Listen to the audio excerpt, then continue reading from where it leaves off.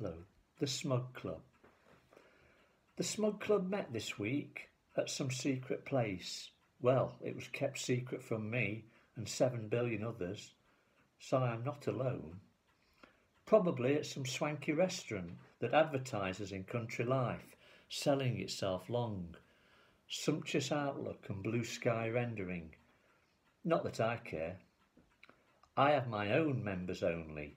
It meets fresh every morning, same time, same place, same viscera, same lines of vacillation around my own exclusion zone.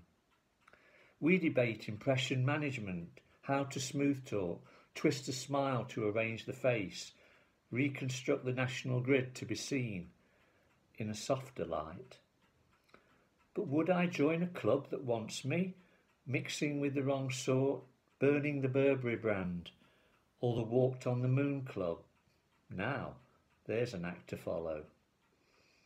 Counting numbers at the Last Supper, twelve or thirteen, does it matter? Dishing out the bread and wine where everyone is at last invited. Welcome to the party, guys. Thank you.